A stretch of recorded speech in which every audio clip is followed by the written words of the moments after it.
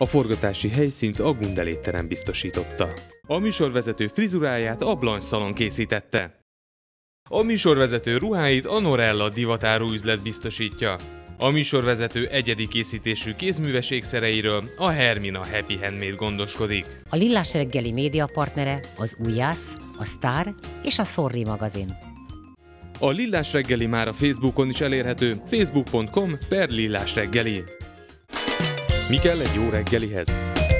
Egy csipetnyi álom, egy csészényi kedvesség, egy csetnyi szenvedély, és egy jó beszélgetés Paul Dillával. a máltai keresztet. Hiszen ez a máltai kereszt ezer éves, és mi ennek a keresztnek az üzenete? Az emberek egymással való kapcsolatának az isteni értelme. Amikor pap lettem, nem éreztem, hogy e világból átléptem, vagy át kell lépnem egy más világba. Sőt, jobban éreztem, mint valaha, hogy ebben a világban élek, s benne is kell maradnom. Pap lettem, jelhordozó. Milyen volt a kezdet? Olyan, amelyben a kereszténység minden oldalról vissza volt szorítva, és pedig a maga lényegi drámájába. Ez a helyzet arra kényszerített, hogy olyan legyek, mint a kezdetekben. Úton levő, gyönge és szegény. Egyébként pedig alig van nagyobb veszélye a kereszténységnek, mint amikor önmagát etikus fölénnyel szemléli. Nem vagyunk megvalósult keresztények, csak törekvők, visszarettenők, újrakezdők, akik nem annyira bővelkednek, mint inkább kitartanak a szeretetben. A papnak is, ha valóban pap akart lenni, vállalnia kell egyházának jellemzőit. Azaz ne akarjon beérkezett, erős és gazdag lenni, mert Isten ereje nem különféle, szellemi hatalmi mutatványaiban nyilvánul meg, hanem gyöngeségünkben. Számtalan zsákutca kínálkozott, strukturalizmus, reformizmus. Mit tudunk biztosan? Azt, hogy a papi hivatásnak kettős ága van, Krisztus szolgálata és az emberek szolgálata. Azt, hogy a pap nem funkcionárius, hanem szolga, aki nem tudja elválasztani egymástól Isten keresését és az emberek szolgálatától az imádságot és az igazságért vállalt küzdelemtől. A pap a sokszor tanácstalan világban arra a gyermeki hitre teszi fel életét, hogy az evangélium át tudja alakítani a világot. Hálát szeretnék adni az elhívás ajándékáért. Szeretném megköszönni az emberi találkozásokban születő istenélményeket és a hit útját vállaló indulásokat. Szeretnék bocsánatot kérni Istentől és mindenkitől azért, amit nem tettem meg érte, értük, amit nem jól tettem, amivel Istent és embertársaimat megbántottam, vagy megbotránkoztattam. Isten, aki ismeri törékenységemet, megbocsát. Reménykedem ember testvéreim bocsánatában is. Maradék életemet Istenes Szent János atyánk igazságára bízom, tegyetek jót, s jól. Az Úrnak teszitek. A rendhagyó névjegyünkben ezúttal a Lillás reggeli mai vendégének, a Magyar Köztársasági Érdemlent középkeresztjével kitüntetett Prima Primissima díjas Kozma Imre atya gondolatai hangzottak el. A magyarországi máltai tevékenység elismeréseképpen a szervezet képviseletében Kozma Imre atya köszöntötte 16. Benedek pápát. A Magyar Máltai Szeretett Szolgálat elnökének az egyházfő azt mondta, vigyázzanak Szent István örökségére. Kozma Imre atya szerint ez az üzenet a magyarság egészének szól. Nem olyan rég készítettem egy miséről, egy 50. évfordulót ünneplő gyémánt miséről, Bátor Fibéla plébános atyának a Mátyásföldi plébánia községben a miséjéről egy filmet, és utána összeraktam azokat a kis filmeket, amiket a pályafutás alatt készítettünk, hiszen én ahhoz az egyház közösséghez tartozom. Volt benne keresztelő, volt benne, volt benne esküvő, a kis nem kicsi, hanem azt mondom, hogy a beszédei, a hozzáfűzött gondolatok, a prédikációi. És amikor az önnel való beszélgetésre készülöttem, ugye megint csak itt van ez az 50-es szám. És azért egy egyház képviseletében, egy szolgálatban eltölteni 50 évet nagyon nagy idő, de hihetetlen nagy felelősség. A nézők nem hallották, hogy előtte beszélgettünk pár percet, és azt mondta, hogy a televíziózás is nagy felelősség. Hát az egyháznak, ha köszönjük szépen, ha van nagy felelőssége, és a papoknak a lelkipásztoroknak nagy, nagy felelősség, akkor talán az még nagyobb.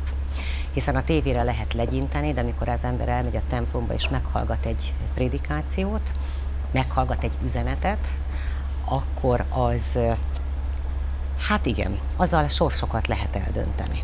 Igen, ez egészen sajátos üzenetekről van szó. Most, hogyha nagyon nagy szavakat használok, akkor isteni üzeneteket bíztak ránk.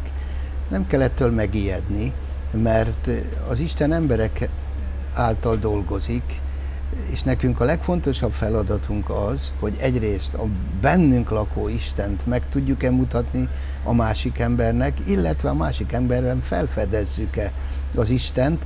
Tehát akkor, amikor mi isteni üzenetekről beszélünk, akkor természetszerűen, nagyon egyszerűen kell ezt az egész kérdést elgondolni. Éppen tegnap voltam Somogyváron, ahol e, hátrányos helyzetű fiatalok élnek egy, egy nagyon szép kastélyban, és hát külföldi vendégek voltak, és ott pontosan ezen gondolkodtam el, mert megépült egy új templom, egy kis fa templom, ennek a, parkna, ennek a kastélynak a hatalmas parkjában, és éppen erről beszéltem, hogy a templom egy gyűjtőhely. Mégpedig isteni igazságok mentén gyűjti össze az embereket, mert sok-sok hívó szó lehet, amire az emberek fölkapják a fejüket és odafigyelnek, de egy templom mindig arról szól, hogy ott isteni hívó szónak kell elhangzania, ami, ami nagyon egyszerűen azt jelenti, hogy ott mindenkinek helye van. És éppen ezért rendkívül fontos egy templomnak az üzenete, de ugyanígy egy ige hirdetés, ha már, ha már ez került elő, ebből a szempontból nagyon fontos, én vagy Istent tudom a hátam mögött, és, és ugye ilyeneket olvasunk a Szentírásban, aki titeket hallgat, engem hallgat, tehát mi nem magunkat hirdetjük, ha komolyan veszük a hivatásunkat, hanem nekünk valóban olyan igazságokat kell kimondani, amely igazságokra mindenki vágyakozik, és amely igazságok alkalmasak arra, hogy mindenkit megszólítsanak, és valamiképpen elhitessék az emberekkel azt, hogy Isten előtt mindenki egyforma, és mi meg egymásnak testvérei vagyunk. Na most, ha, ha valamiképpen mi felelősség tudatunkban és tudatunkkal ezt, ezt átéljük, akkor, akkor ez a legfontosabb üzenet, mert mi egymásnak sok-sok okos dolgot mondhatunk, szórakoztathatjuk is egymást, eh, stb. stb. De olyan igazságokra van nekünk szükségünk azért ahhoz, hogy értelmezni tudjuk az életünket, amely, amely igazságokra mindenkinek szüksége van. Tehát én az isteni üzenet alatt erre gondolok, hogy, hogy azokat az igazságokat kell kimondani, amikre szíve mélyén mindenki vágyakozik, és, és legalapvetőbben ez az igazság azt jelenti, minden ember arra vágyakozik, hogy észrevegyék. Arra vágyakozik, hogy megszólítsák, és, és ebben mindig az van, hogy, hogy valaki odafigyel az illetőre, és mi, mi ebből élünk.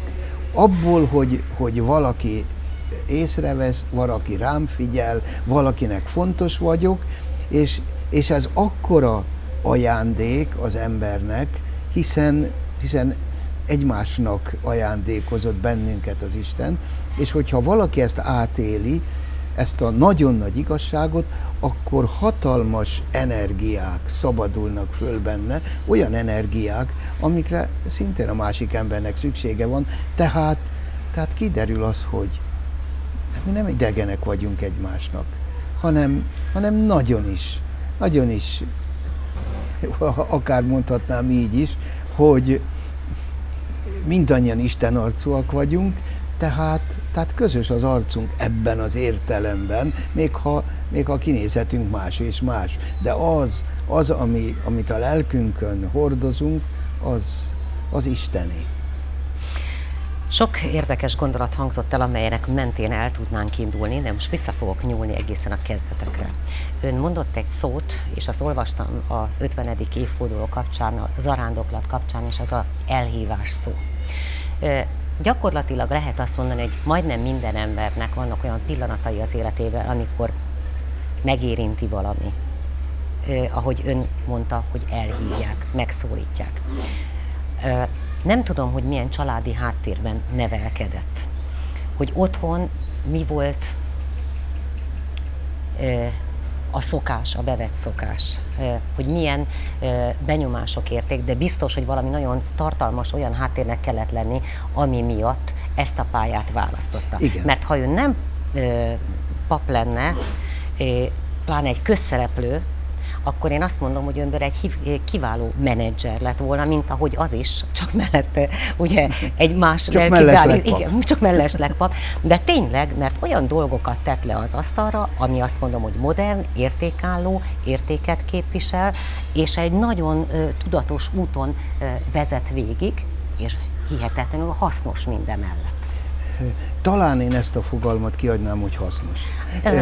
Értem én, hogy... Inkább azt mondanám, ami, amire mindenkinek szüksége van, de, de jó, ez is igaz, természet, hát, természetszerűen. Ugye elhívás, ez nagyon, nagyon örülök, hogy, hogy ezt a fogalmat állítottuk most ide a középre, mert, mert valamiképpen mindenkit elhívnak. Egy valamire biztos, hogy mindegyikünket elhívnak, ez pedig azt jelenti, hogy értelmezzük az életünket, uh-huh. és az elhívás alapvetően azt jelenti, hogy az embernek azt kell felismernie, hogy mire is való az élete. És az elhívás azt teszi, hogy nem élhetek magamnak. Csak egymásért élhetünk. Állítom, hogy rengeteg ember hiába valóságérzése, rengeteg ember hiányérzete, boldogtalansága ebből adódik, hogy, hogy nem ismeri ezt az élményt, ami, ami annak nyomán támad, hogy, a, hogy az ember ajándékozott, hogy, a, hogy az ember nem magának él. Mert az elhívás pontosan ezt jelenti, hogy, hogy, a, hogy az ember a másik emberért él Ugye nagyobb boldogság adni, mint kapni. Olyan jól tudjuk ezeket a szép közmondásokat, na de ez alapvetően azt jelenti, hogy, hogy az életünk való arra, hogy elajándékozik, és ha az ember ezt vállalja, akkor, akkor a boldogság érzése tölti el. És, és ez ajándékoz az embernek lelki békét, mert, mert azt tette, amire, amire született. Na most az elhívás, ez sajátos. Én pontosan a mai világunkban fiatalokat azért sajnálom, ugye én 18 évesen leérettségiztem, azonnal léptem, de hát ennek voltak nyilván előzménye éppen az elhívással kapcsolatosan, visszatérek oda, de ugye ez azt jelenti, hogy az ember nem ő tarthatja meg magát önmagának. Én a, sokat foglalkozom a görög nyelvvel, és a görög nyelvnek van erre egy nagyon-nagyon jó szava. Ugye a demokráciáról annyit beszélnek, jó, tudjuk mi, hogy ez az európai demokrácia messze nem arról szól, amit de, görög demokráciának mondtak, stb. Ebben megint nem menjünk jobban bele, de a demokráciának az alapélménye az, hogy az ember közösségi lény. Vagyis senki sem élhet önmagának. Na most, a görög gondolkodás a demokráciában, a görög gondolkodás azt az embert, aki nem a közösségben találja meg a helyét, vagyis kivonja magát a közösségből, és, és úgy gondolja, hogy, hogy élhet magának, ezt a görög így mondja, hogy idióta. Idi- Erre nem számítottam. Idióta. Vagyis aki magának él, mi is használjuk ezt a szót, valamiképpen bent is van a mi szóhasználatunkban is valami ebből a, ebből a tartalomból, vagy ebből a, ebből a tudásból, hiszen arra mondjuk, hogy idióta, aki, aki valahogy kilóg a sorból. Tehát, tehát nem, nincs a helyén, és nincs... A mi értékrendünk szerint. Így van. Na jó, a, az ember értékrendje az egyértelmű, hogy, hogy közösségi lény az ember, közösségben kell, hogy élnünk, és a kö- kell, hogy éljünk, és a közösségben mindenkinek helye van, ahol felelősségekről van szó, feladatokról van szó, és, és az adósságunkat törlesztjük egyfolytában, vagyis, vagyis egymást ajándékozzuk meg önmagunkkal. Tehát az elhívás. Én, én nagyon, nagyon sajátos helyzetbe kerültem, pici gyerekként, mert édesapám másfél éves voltam én, amikor meghalt, fiatal ember volt, 28 éves, és anyám egyedül maradt, és egyetlen útja volt ez, ez ugye majdnem, hogy azt mondhatnám a háború közepén, 1940-ben születtem, ez 42, 42 kora tavasza volt, hát merre induljon el anyám egy szem kis gyerekével, hát ment haza, ahonnan ő elindult, és ezáltal én bekerültem egy nagy családba, hiszen az anyám legfiatalabb testvére az nem sokkal volt idősebb, mint én. Tehát ez egy, ez egy a tragédiában egy, egy számomra készítgetett kincs volt, hogy egy közösségbe kerültem, mégpedig egy nagy közösségbe, ahol, ahol valóban mindenki tudatosan élt. Ezt elsősorban nagyanyámnak lehet köszönni, mert ő mint egy mater familie a háttérből mindenkit szolgált, és, és mindenki biztonságban volt, mert nagyanyámra mindig lehetett számítani. Nagyapám pedig egy roppant bölcs és okos ember volt, aki, aki pedig különösen kézen fogott, szinte úgy mondhatnám, hogy átérezte az, hogy ennek a árván maradt gyereknek én, én különösképpen kell, hogy, hogy segítője legyek, és, és ez, ez a gondolkodás, hogy, hogy mit jelent egymásra figyelni, ez, ez, ez ben volt a levegőben. Ezen kívül én egy faluban nőttem fel, és az akkori falu még, még élte a maga nagyon, de nagyon demokratikus életét. Ezt mondhatom nyugodtan így. Pár héttel ezelőtt meghívtak a falugondnokoknak a találkozójára, és ott kellett egy előadást tartani, és pontosan erről beszéltem nekik, hogy, hogy a falu micsoda értékeket hordozott, sajnos ma már, ma már igazából ez egy az egyben nem mondható el, olyan értékeket, amiket szeretnénk megtanítani a faluról elszármazott városi embereknek, akik bizony, amikor városiakká lettek, mintha, mintha nem, nem csak el akarták, le akarták volna vetközni ezeket a, az értékeket, hanem az anonimitásba, az inkognitóba menekültek el. Eltűnni a sűrűben. Eltűnni a sűrűben, és, és ez nagyon nagy veszteség. Tehát én egy olyan faluban nőttem fel, ahol a közösségi élet minden mozzanata formálta és alakított, úgyhogy ez, ez volt a másik nagy, ez egy nagy család volt akkor a falu, amikor még Kalákában építettek, Kalákában arattak, terményt takarítottak be, és számtalan dologról lehetne beszélni, és ezen kívül ez is nagyon fontos volt, erről lehet, hogy keveset beszélünk megint, a, az egyházi közösségnek a megtartó és, és, és embert formáló szerepe és ereje. Egy ragyogó egyházközségben éltem, a, a plébánosom 42 évig volt ebben a faluban, ez egy nagyon jó közösség volt. 200 év alatt összesen 7 papja volt a falunak, tehát ebből is látszik, hogy Igen. megültek ott a papok, mert, mert egy olyan, olyan jó ö, közösség volt, ez mind-mind hatott az emberre, és, és én azt fedeztem fel, persze a nagyapám is sokat ö, beszélt nekem erről, hogy az ember élete valóban csak akkor tud kibontakozni, ha egy közösségben elvállalja a szerepét. És, és én, amikor a, papságot választottam, akkor, akkor pontosan erre gondoltam, hogy az emberekét szeretnék élni. Az, az életemet nem egy embernek akarom odaadni, egy, mint aki a házasságban, bár sajnos ma már ez sem mindig, mindig tapasztalja az ember, évek alatt elég sokat foglalkoztam fiatalokkal, na de ez most megint egy másik terület, hanem, hanem sokakért szeretnék élni, és, és úgy gondoltam, hogy ezen az úton talán, talán több embernek tudok segíteni abban, hogy ő is rátaláljon erre az emberi útra, amely közös út.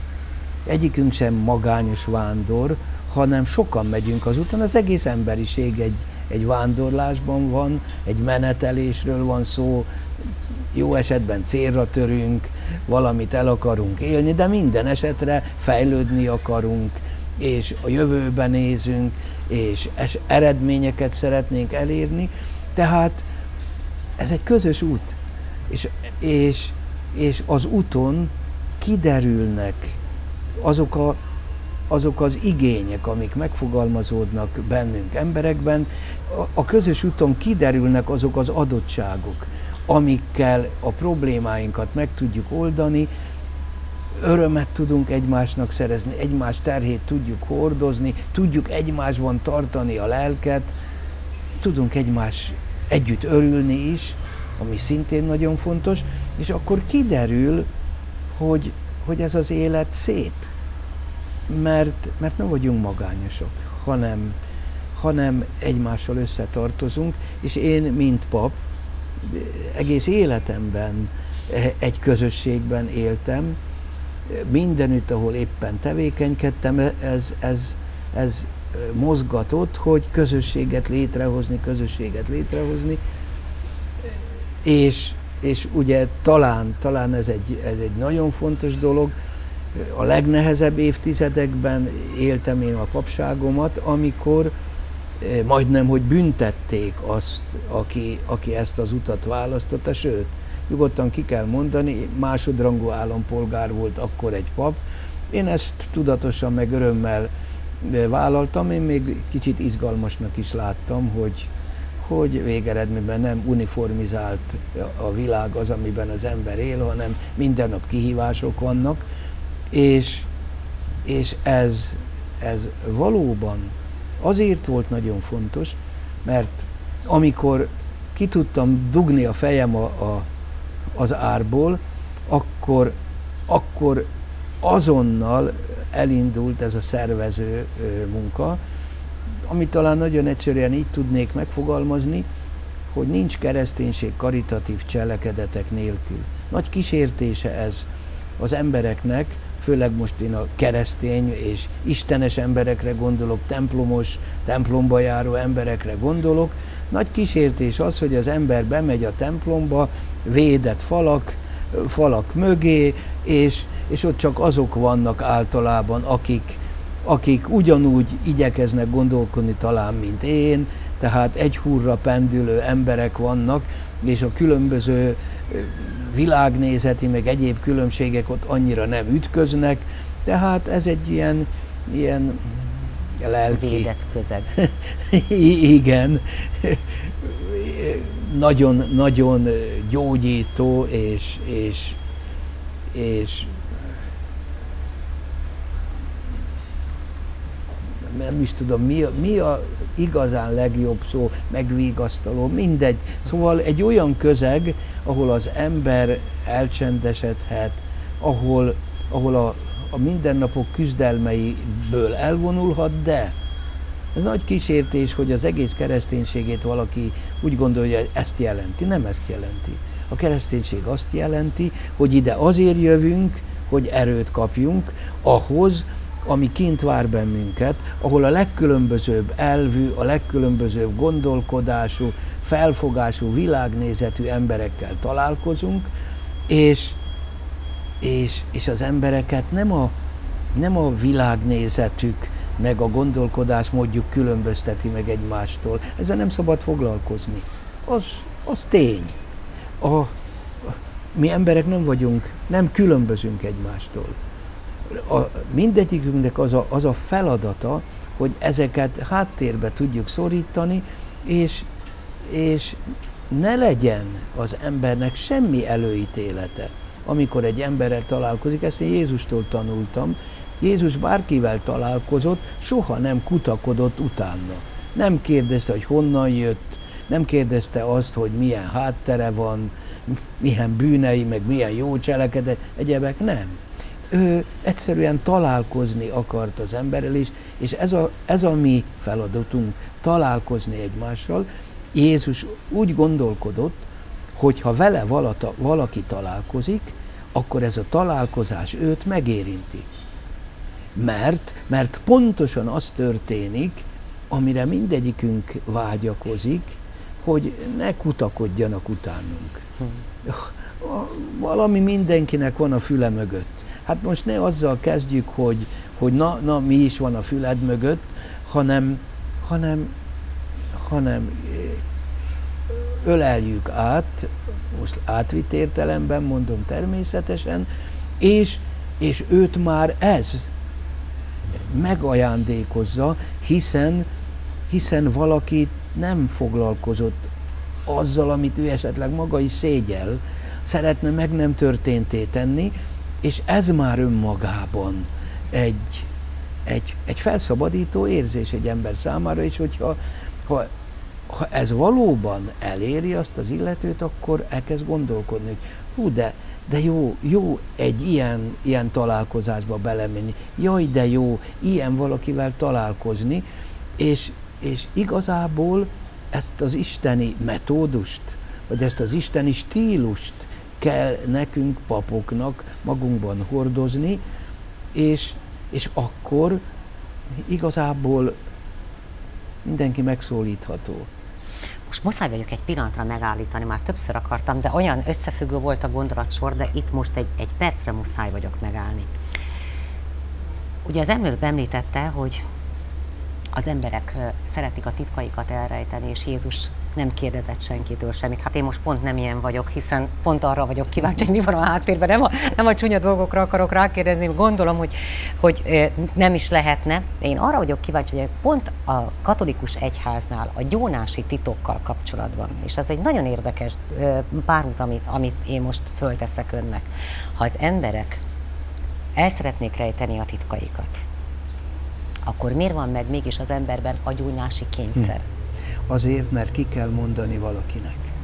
Pontosan, ha folytattam volna a gondolatomat, akkor odáig jutottam volna el, hogyha igazi ez a találkozás, akkor ő maga fogja kimondani.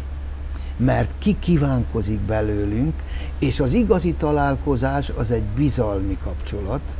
Hát tessék, tessék arra gondolni, akivel igazán találkozunk, most, most most ne szerelmet mondjak, hanem szeretett kapcsolatokat mondjak, akkor az ember nyelve megoldódik, és olyanokat is elmond, megajándékozok valakit a bizalmával, amit másnak nem mond el. És ez mindig arról, abban az esetben történik, amikor, amikor az ember úgy gondolja, hogy na, ez az ember az, akinek ezt elmondhatom. Lélektanilag ez a gyónásnak a pedagógia értelemben, a, a hát, háttere. Persze ennek van egy teológiai háttere is, ez, ez Jézussal kapcsolatos, aki, aki azt mondja, és ez nagyon, nagyon izgalmas megint, hogy az ember nem élhet állandóan lelki terhek súlya alatt. Mert azért mindannyian lelkiismeretesek vagyunk a lelkiismeretünk pontosan méri, hogy mi a jó és mi a rossz. Pontosan tudjuk mi emberek, hogy mikor teszünk jót, és mikor teszünk rosszat. A tökéletes iránytű, vagy tökéletes jelzőrendszer a lelkiismeretünk. Na most, nyilván amikor rosszat teszünk, szégyeljük. Vagy, vagy lehet, hogy, hogy egyszer csak már, már bele is törődünk, vagy, vagy megszokjuk. Vagy összeroppanunk talán, talán az, az, már, az már a végső. Tehát én azt gondolom, azt gondolom, hogy ez az, ami, ami az ember számára a kiutat jelenti, hogy leveszik róla a terhet. Tehát akkor, amikor én kimondom azt, ami nyomja a lelkemet, akkor meg, megkönnyebbülök. Amikor gyón valaki, akkor, akkor megkönnyebbül. Most ez nem azt jelenti, hogy soha többet nem tesz rosszat, sajnos. Teszünk rosszat újra meg újra, akkor is, akkor is fontos ez a folyamat, mert az ember újra meg újra szembesül valamivel, és ez nagyon fontos. Állítom, hogy igen sok ember megroppanása ebből, ebből származik, hogy a bűnei súlya agyon nyomják. Ez lehet, hogy patetikus így. A, rossz döntései rátelepednek az emberre. Van, az ér, van a görögöknek szintén egy érdekes képe ezzel kapcsolatosan, azt mondják, hogy az ember a bűneit egy hátizsákban hordja, mm. mintha köveket hordozna. Persze a görögök nagyon furfangosak, nagy, nagy filozófusok voltak. Azt mondja, hogy, a, hogy az embernek kettős hátizsákja van. Úgy néha, néha, amikor ilyen nagyvárosban látom a turistákat, hogy a hátizsákjuk elő van, mert hátulról kilopnák azt, ami esetleg benne van. A görög azt mondja, kettős hátizsákot hordozunk mi emberek, ami hátul van, abba dobáljuk bele a saját bűneinket, mint köveket, és ha, ha azoktól nem szabadulunk meg, egyre nehezebb lesz, elől pedig, pedig másoknak a bűneit nézzük. Hmm. Szóval Érdekes. Sajnos, sajnos mi emberek ilyenek vagyunk, de alapvetően erről szól. A gyónással kapcsolatban még nagyon kíváncsi lennék a véleményére. Ugye az emberek egy része ugye azt mondja, hogy jó lenne megszabadulni a bűnöktől, ugye a bűnbocsánatról is mindenkinek sajátságos hozzáállása vagy véleménye van. De nagyon sokan szégyelnek elmenni gyónni. Vagy azért, mert, mert szégyelik saját magukat, Persze. ott vannak a terheik. Kettő, ugye azért mégiscsak hiába egy pap az illető, mégiscsak egy idegen embernek kell elmondanom, szeretnek a névtelenség homályába maradni, még azt is megkockáztatom, hogy ismerős papnak se szívesen beszélnek saját gondjaikról vagy terheikről, és közben a másik oldalról ott van a lelkipásztor, a pap, az atya, aki, hát ha nem is veszi magára a bűnöket, de kicsit együtt magára kell, veszi. Kicsit ma, na de együtt kell élnie azzal a sok szörnyűséggel, amit hal. Na ezt hogyan lehet földolgozni? Ez, ez, ez való, való igaz. Az, hogy szégyelli, én is szégyellem a bűneimet.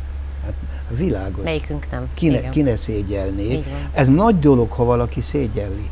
A, az ateizmusnak pontosan van egy ilyen nagyon furcsa kitüremkedése, hogy, hogy nem szégyeljük a rosszat ez, ez nagyon, nagyon beteg lelkületre val, mert ilyen kivagyiságot is jelent, meg ugyan azt teszek, amit akarok, nem igaz. Nem tehetjük azt, amit akarunk, mert bármit teszünk, az a másik embert is valamiképpen érinti, ha másképp nem úgy, hogy én is olyan leszek, amilyenek a cselekedeteim. Ha én jót teszek, sokat, akkor egyre jobb leszek.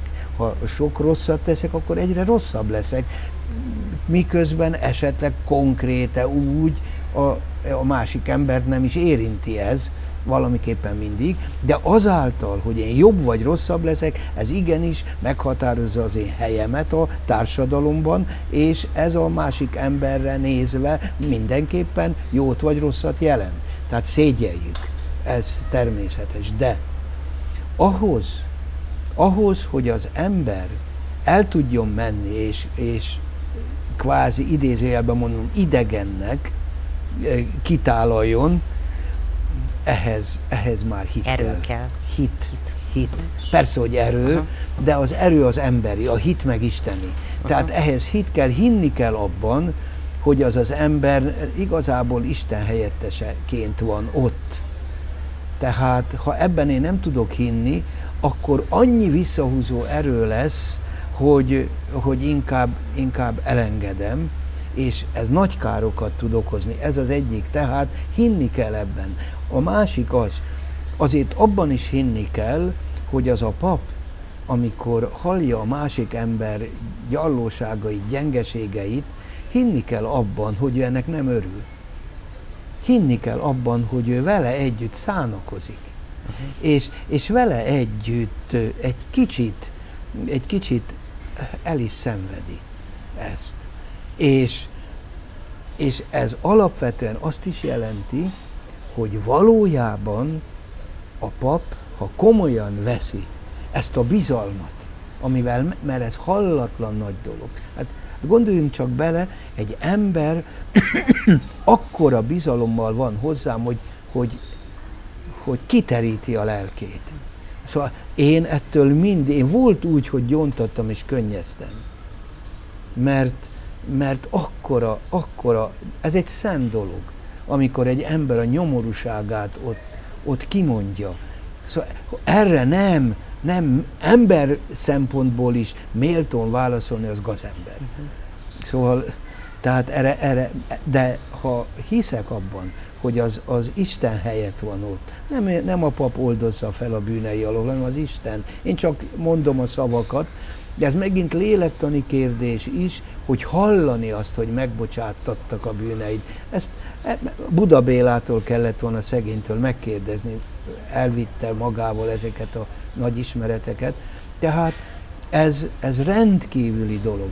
És hogy, hogy ez még ezentúl mit is jelent, azért erről sem szabad megfeledkezni, hogy mi papok sem vagyunk tökéletesek, ez is egy érdekes dolog, de most nem ez a témánk, erről is lehetne sokat beszélni, hogy a mi gyengeségünkben az Isten ereje meg nagysága hogy tud megjelenni, bizonyos értelemben gyengének kell lenni, ahogy az Isten növekedjen, de most ezt hagyjuk. Egy biztos, hogy papok minden gyengeségük, sőt minden bűnük ellenére a gyónási titok területén soha, soha nem vétettek. Hmm. Ez, ilyet nem tudtak előhozni az egyház története során, hogy egy pap elárulta volna ezt a titkot. Azért, azért ez is egy hallatlan nagy dolog. Hagy kérdezek megint bele az előfordul-e, hogy a gyónási, gyónás által tudomására jutott történetek belekerülnek a prédikációkba, példaértékűleg. Hiszen, hiszen nem akkor és nem abban a szituációban. Nézzen, biztos, hogy... Mert minden történetnek biztos, megvan a maga hogy, tanulsága. Biztos, hogy átvitt értelemben uh-huh. maximum, és, és az is nyilvánvaló, hogy ha ott itteni közösségről van szó, és akkor ahonnan, az, akkor ott semmiképpen Igen. nem. Ez más uh-huh. út, más út adott, adott esetben előkerülhet, no de ez annyira, annyira átvitt értelemben, hogy, hogy erre személyre gondolva lehetetlen, lehetetlen, hogy hibázzon vagy tévedjen az ember. Hogyan készül a prédikációira? Elmélkedem. Éppen Éppen ugye most vasárnap többen is oda jöttek, hogy ez, hogy ez, ez a mai, ez valami egészen rend. Azt kérdezte, rendkívüli volt, azt kérdezte az egyik, egyik asszony, hogy mikor készült atya? Hát mondom, fél tizenkettőkor kezdtem, éjszaka. Mondom, mert, mert a Eto Debrecen meccs volt, azt nekem meg kellett nézni, az 11 óra után végződött. Hát mondom, fél tizenkettőkor egy kicsit elkezdtem gondolkodni, hogy, hogy másnap mi is az, amiről nekem beszélni kell, és hát azért, azért egy-két órát rá kellett szánni, hogy, hogy végig tudjam gondolni, mi az, amit éppen ezen a napon a főparancsolattal kapcsolatosan üzen nekünk az Isten, mit jelent az Isten kapcsolatunk és az egymással való kapcsolatunk, de hát azért ez rendkívüli. Azért nem minden szombaton van ilyen későn meccs, és hát azért nem szombaton este szoktam kezdeni a készülődést, hanem valamiképpen egész héten.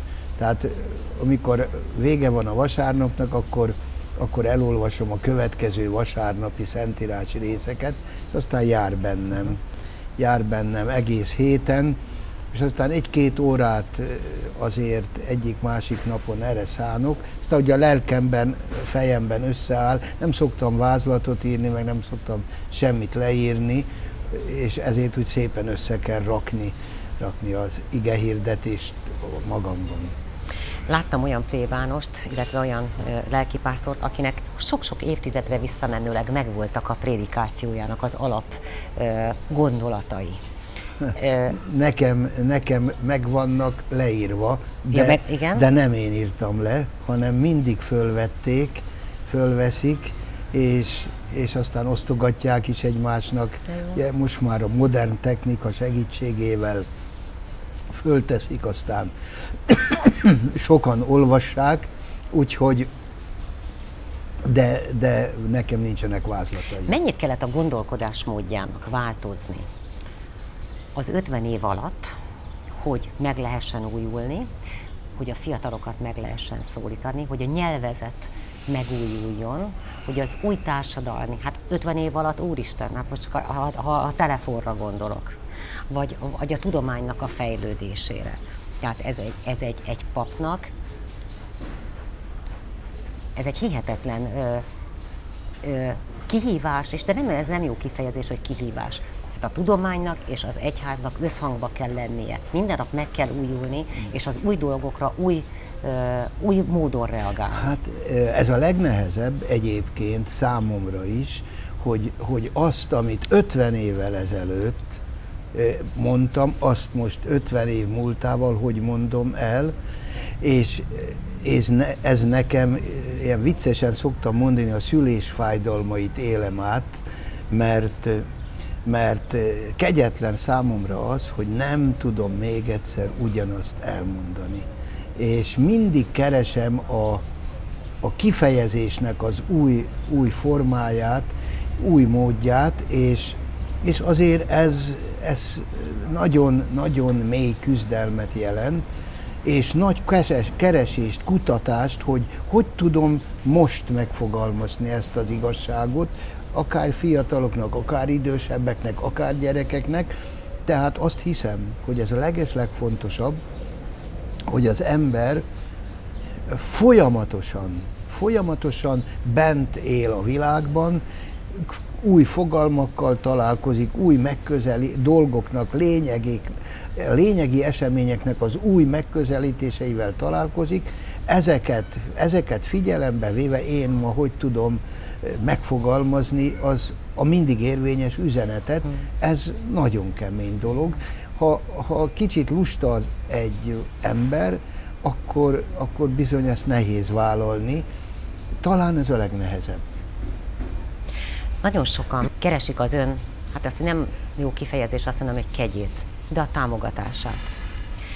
Hogy odaáll egy-egy akció mellé, egy téma fölkarolása mellé, hiszen hivatkozhatnak arra, hogy hát kérem szépen minket támogat a Kozma atya. Ő letett valamit az asztalra, ott van a Máltai ö, Szeretett Szolgálat, ö, az Irgalmas Rendi Kórház. Tehát tudják azt, hogy jó dolgok mellé áll, példaérdekű dolgokat képvisel, tehát hogyha az atya ott van, akkor azzal nagyot nem hibázhatunk.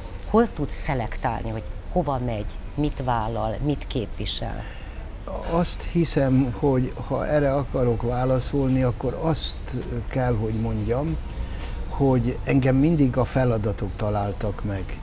Tehát én, én nem agyaltam ki semmit. Tehát nem ültem az íróasztalomnál, rágtam a ceruzám végét, hogy mit kellene tenni, hanem, hanem valóban mindig ahhoz a feladathoz álltam oda, ami éppen, éppen elém került.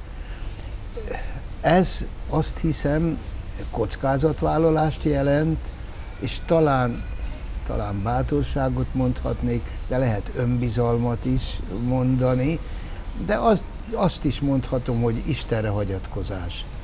Tehát ezek, ezek azt hiszem rendkívül fontosak, hogy az ember ne tudjon elmenni a problémák mellett. Ez egy, uh-huh. ez egy nagy kísértése mindegyikünknek.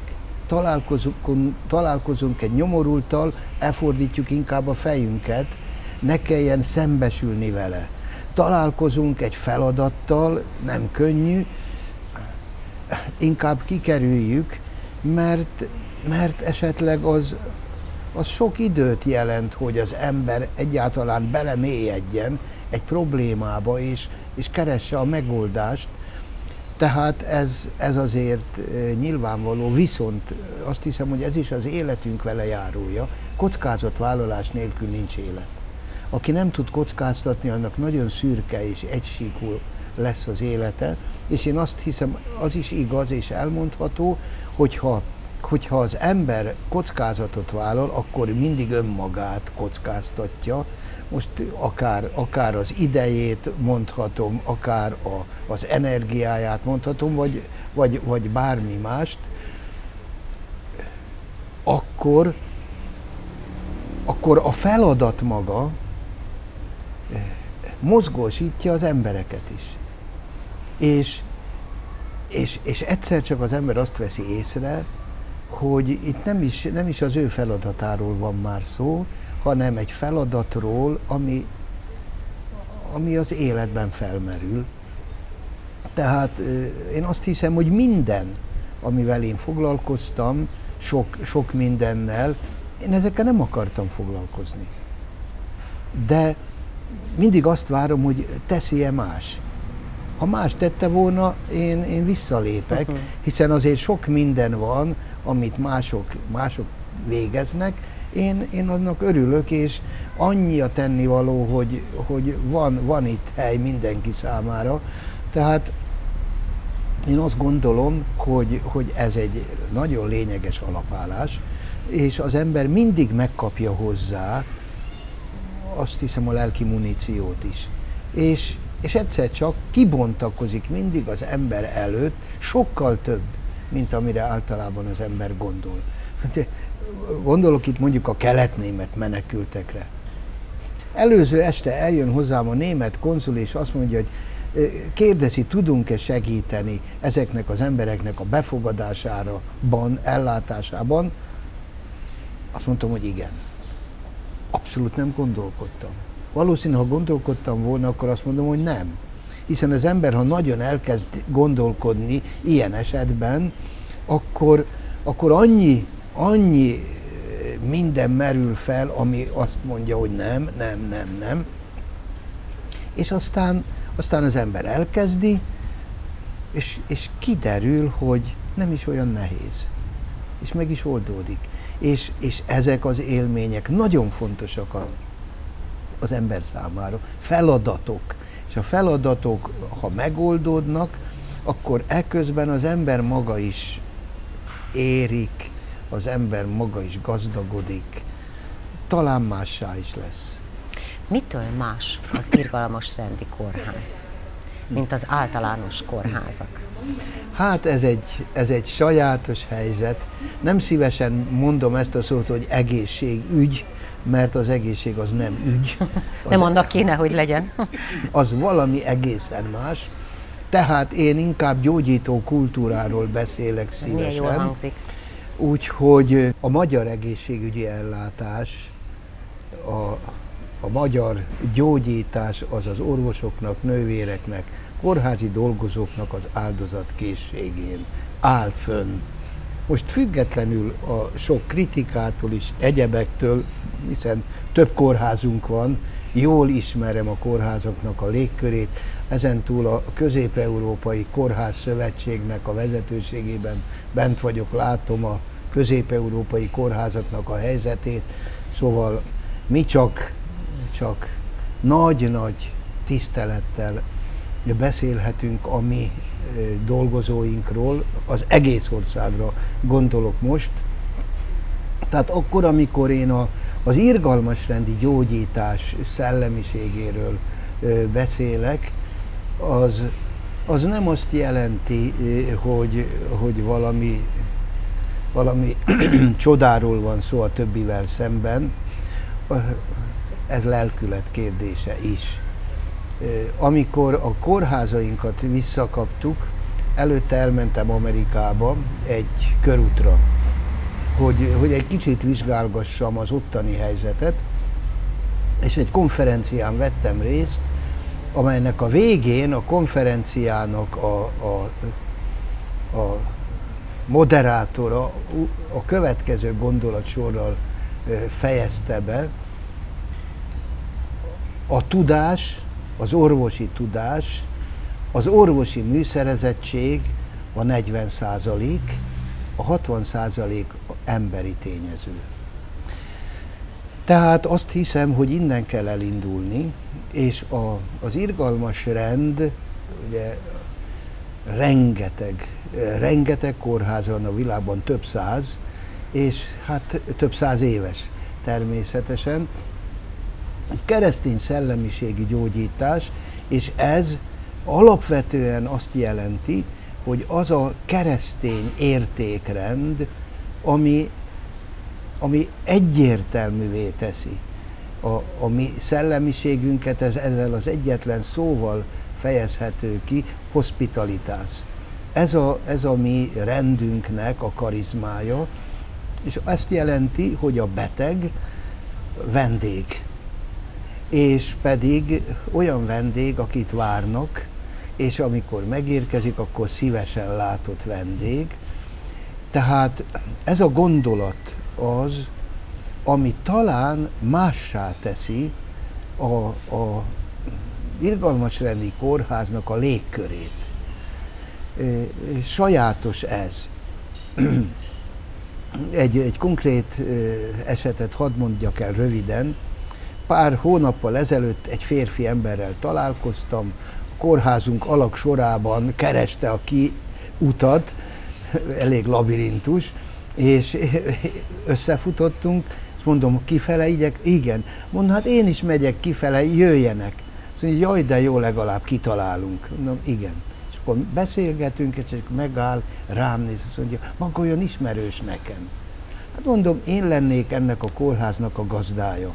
De hát, és mindjárt panaszkodtam neki, hogy bizony mennyi gondunk, mennyi bajunk van, de különösen azzal kapcsolatosan, hogy nagyon rossz állapotban kaptuk vissza az épületeinket, és, és, és, és, és nem szeretnék erről többet beszélni, és ilyen, ezt a képet használtam, mondjam, tudja olyan a házunk, mint egy vedlő pulikutya.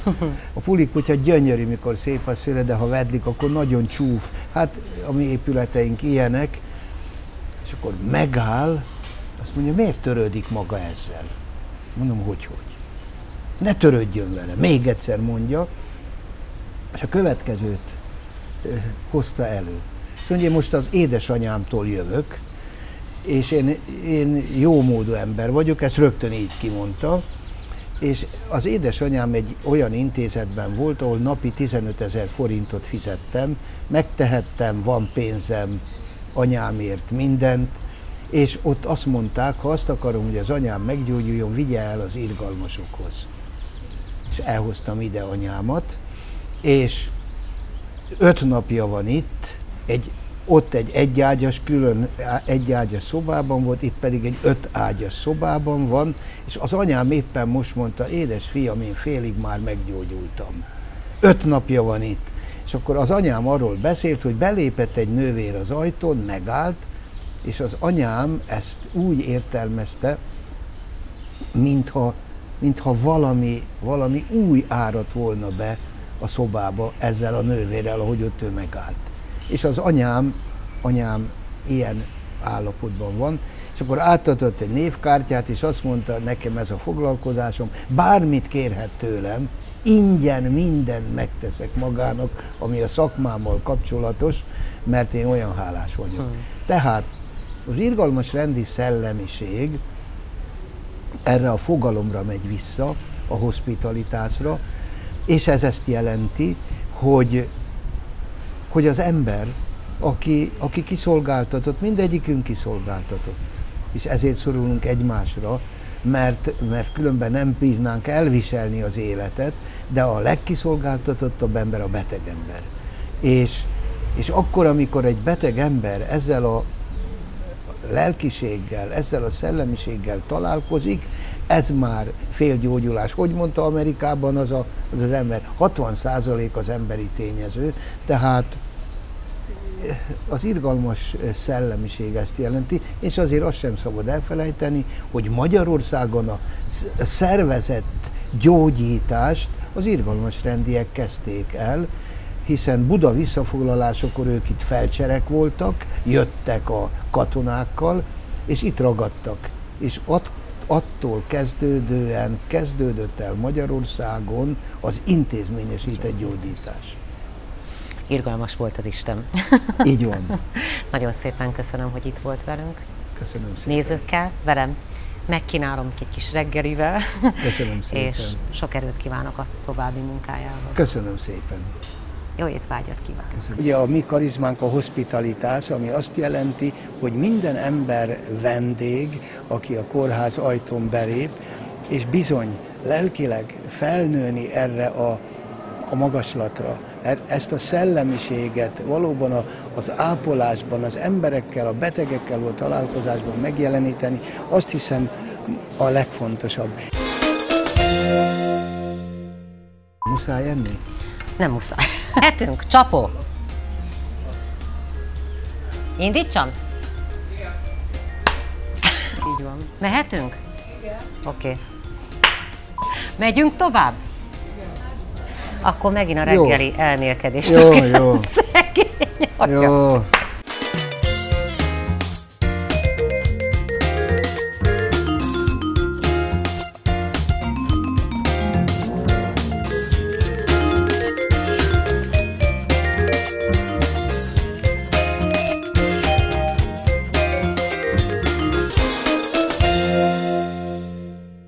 A Lillás reggeli már a Facebookon is elérhető, facebook.com per Lillás reggeli. A forgatási helyszínt a Gundel biztosította. A műsorvezető frizuráját a Blanche Salon készítette. A műsorvezető ruháit a Norella divatáru üzlet biztosítja. A műsorvezető egyedi készítésű kézműves ékszereiről a Hermina Happy Handmade gondoskodik. A Lillás reggeli média partnere az Újász, a Star és a Sorry magazin.